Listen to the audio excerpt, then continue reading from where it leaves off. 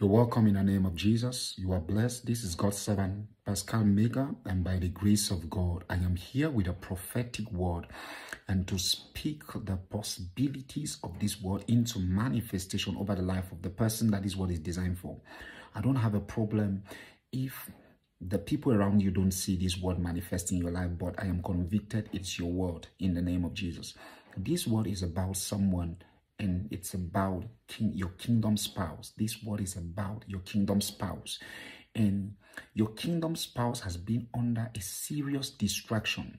That is why at a particular time, like when the when when the person senses that it is time to make a very serious decision a distraction from nowhere will just show up and the person seems very distracted because there is someone who has been fighting the union and who has been fighting to see that the relationship doesn't work the way it has to work.